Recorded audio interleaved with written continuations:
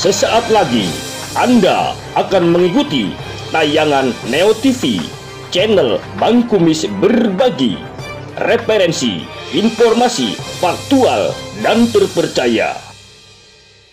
Saat ini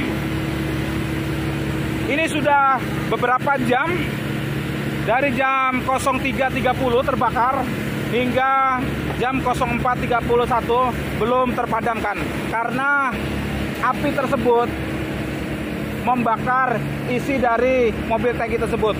Menurut pemadaman dari tim damkar terus dilakukan saudara. Dan ini kembali berdatangan dua unit karena memang mobil tangki ini sudah dipadamkan. Sudah menghabiskan empat mobil dari Pemkot Serang ditambah dari damkar Kabupaten Serang.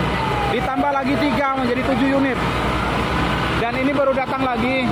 Ini dari damkar Kabupaten Serang. Damkar kesulitan akhirnya damkar dari Kabupaten Serang masuk lewat uh, tol Cikande berputar arah ke arah Kibin saudara. Lihat.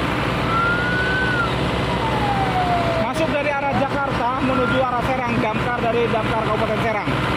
Dan posisi damkar saat ini ini dari Pemkot Serang saudara yang sedang melakukan uh, pemadaman kebakaran saat ini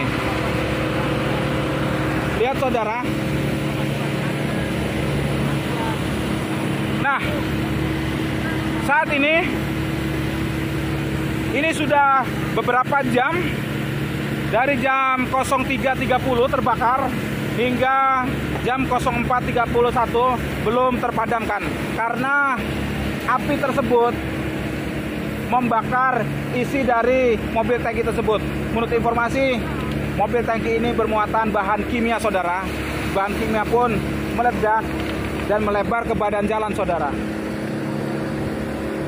Pemadam juga ekstra hati-hati karena kimia melebar harus menyemprotkan air ke bawah badan jalan agar tidak uh, terbakar dan menyemprotkan kembali ke atas uh, mobil tangki tersebut saudara.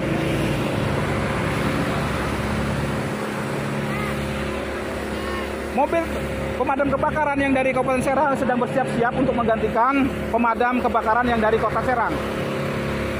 Semua total 7 unit yang diterjunkan oleh Kota Serang dan Kabupaten Serang yang tergabung.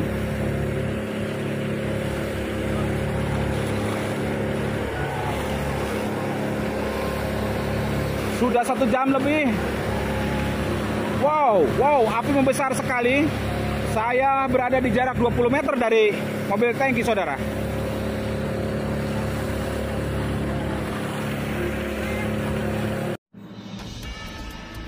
Dari Bilik Siar Studio, channel Bang Kumis Berbagi, Neo TV akan selalu hadir untuk melengkapi informasi seputar peristiwa yang terjadi di Pandeglang, Banten, dan sekitarnya.